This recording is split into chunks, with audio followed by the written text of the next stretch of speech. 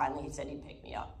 And um, so I walked from the phone where I talked to him to sit down at UMass, the waiting room out there, waiting for him to come get me.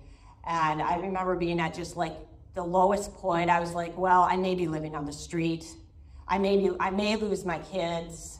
I really don't know what's going to happen. And as that, you know, I was having these thoughts, like the crushing, just crushing, I felt like this light come in. And um, definitely in a, a, spiritual aspect, I felt like a sense of love and, and like a solidity that I knew no matter what, I was going to be okay.